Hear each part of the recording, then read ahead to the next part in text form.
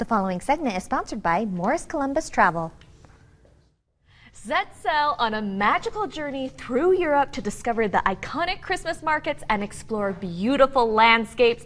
Larry is back with more incredible trip deals. Yay, Larry! That's all I can say. We're happy to have you back. Thank you very much. you know, I love cruising, both ocean and river cruising, but the river cruising is unique and different. Okay. Uh, in Europe, you're in the heart of Europe. Yes, the big cities, but the small hamlets, the wee villages, The you wee can villages. mix with the locals.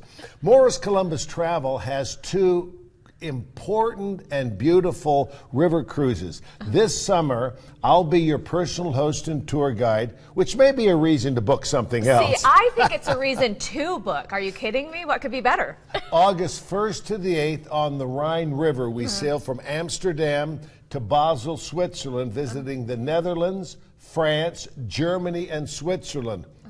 Amazing. What makes this cruise unique is that Morris Columbus Travel went in and bought half the ship. Oh. It's ours, and the discounts are unparalleled. For example, mm-hmm. the lead category, a category E, uh-huh. on the Rhine River, uh-huh.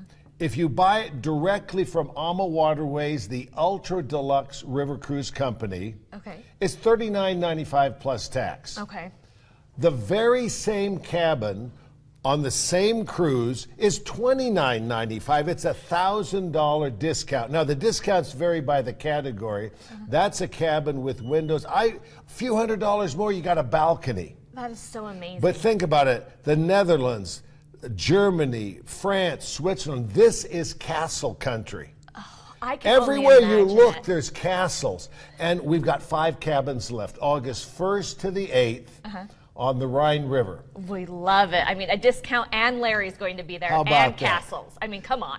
You know, one of my favorite things in Europe is a 600 year tradition Uh-huh. of the Christmas markets. In Germany, the Christkindlmarkt. Oh, I've And always wanted to It's go. Uh-huh. big cities, small cities. Everybody loses their mind.